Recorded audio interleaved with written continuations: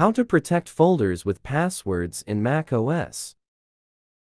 Open Spotlight. Type disk utility, then press return.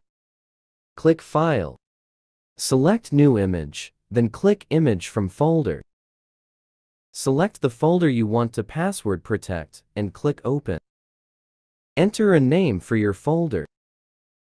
Click the 128-bit AES encryption. Click the image format.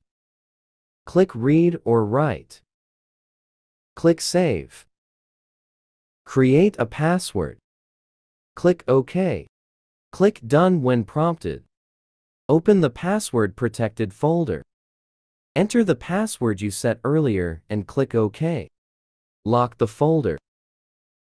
If you forget your folder's password, you may permanently lose access to the respective files.